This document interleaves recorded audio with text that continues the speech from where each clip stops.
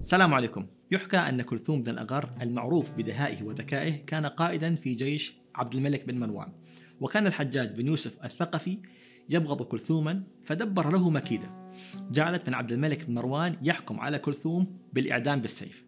فذهبت أم كلثوم إلى عبد الملك بن مروان تلتمس العفو فاستحى منها لأن عمرها تجاوز المئة.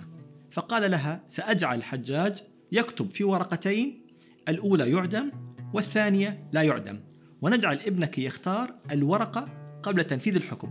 فإن كان مظلوما نجاه الله. فخرجت الأم والحزن يعتريها. فهي تعلم أن الحجاج يكره ابنها والأرجح أنه سيكتب في الورقتين يعدم. فقال لها ابنها لا تقلقي يا أمه ودعي الأمر لي. وفعلا قام الحجاج بكتابة كلمة يعدم في الورقتين وتجمع الملأ في اليوم الموعود ليروا ما سيفعل كلثوم. ولما جيء بكلثوم إلى ساحة القصاص قال له الحجاج وهو يبتسم اختر واحدة.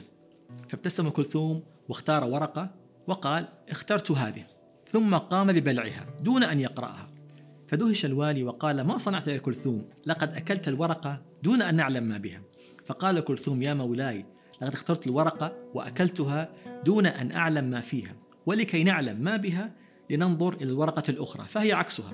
فنظر الوالي إلى الورقة الباقية فكانت يعدم. فقالوا لقد اختار كلثوم ألا يعدم.